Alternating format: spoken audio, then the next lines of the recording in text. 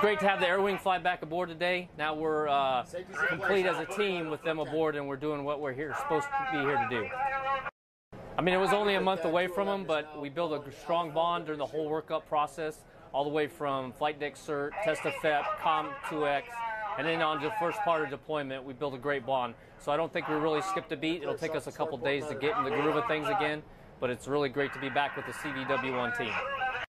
It's important to have the Air Wing back aboard the ship because we cannot complete the mission as a team without them aboard here.